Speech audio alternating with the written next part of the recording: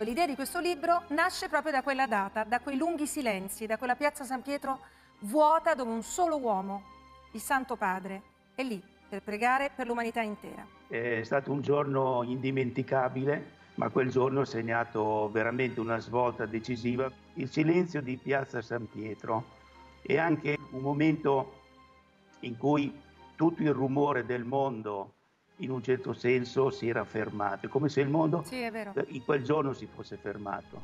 Che cosa è accaduto? Qualcosa di straordinario. Uno si è posto come il pastore. In questo momento di grande pena, di grande fatica, di deserto, lui si è posto davanti a tutti ed ha indicato la strada che è Cristo.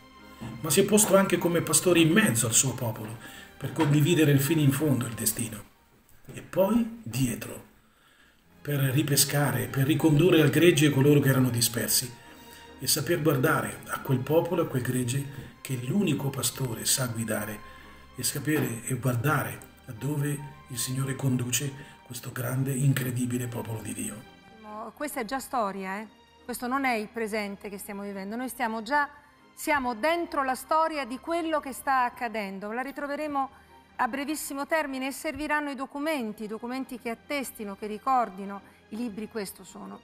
Ecco perché è, è stata una carta così, così vincente eh, l'educarci attraverso i libri in questi anni che ci hanno fatto sempre una grande compagnia. Tutti sanno, compagnia che ci ha fatto Vantuan, che ci sta già facendo questo nuovo libro e non ci siamo fatti problemi, qualcuno si faceva problema ma domenica scorsa come vendere un libro, ma no, non si può, alla distanza, non preoccuparti, vai, ci mettiamo i guanti, eh, stiamo distanti, ma c'è un bisogno tale, oh, ne abbiamo venduti già un centinaio domenica, quindi vuol dire che la gente poi non si è fatto tanto problema perché la gente ha un bisogno tale di andare a fondo, di incontrare qualcosa che fa bene il cuore, perché è vero, da cuore a cuore va veramente eh, il cammino e la speranza, ecco, noi abbiamo bisogno di aiutarci a riflettere, andare a fondo.